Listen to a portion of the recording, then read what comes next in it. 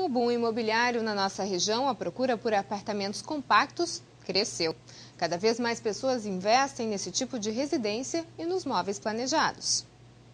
Seu Hamilton morou muitos anos em casa e, quando mudou para um apartamento menor, sentiu a necessidade de planejar os espaços. Rapidinho, em questão de 30 dias, tudo pronto. Sossego, é principal. Facilita muito.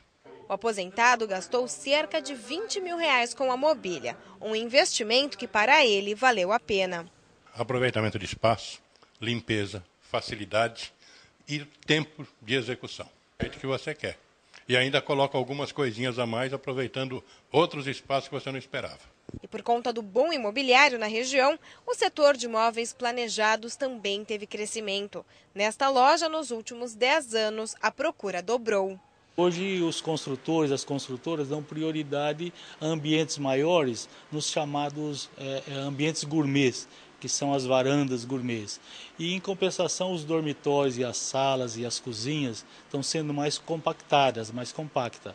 Então, em função disso, há realmente uma necessidade muito grande de se adequar os espaços e o aproveitamento, o planejamento, né, para se encaixar tudo que há de necessário nesses cômodos que hoje são menores. Com as novas construções cada vez mais compactas, a mobília precisa ser pensada em detalhes. Por isso, hoje não é só a cozinha que entra na lista dos móveis planejados.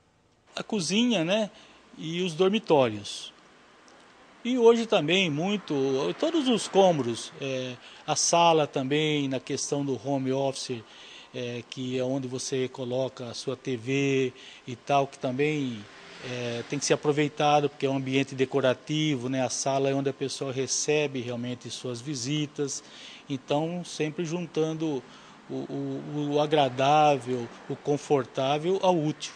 Se você não planejar, se você não pensar, se você não, não, não, estudar bem antes, na hora H fica até difícil você colocar ali o que você tem de necessidade e conforto.